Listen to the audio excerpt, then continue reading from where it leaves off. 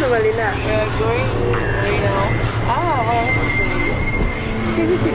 else to